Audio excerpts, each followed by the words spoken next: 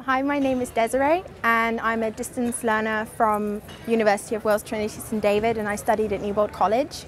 So as a distance learner we basically did a University of Wales Trinity St David course. I studied business management and they gave us a lot of support in terms of learning from a, from a distance. If you had any problems with tuition or academically, you could phone up the liaison officer and they would get back to you usually within the next 48 hours, which was quite great because we had some issues with student finance and you could just phone them and they say they'd sort it for you.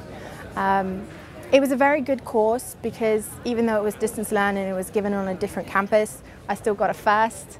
So I wouldn't have to say that you have to study at the college or university that you're being accredited by to get a good degree because the course is made so that you just, it's just really easy.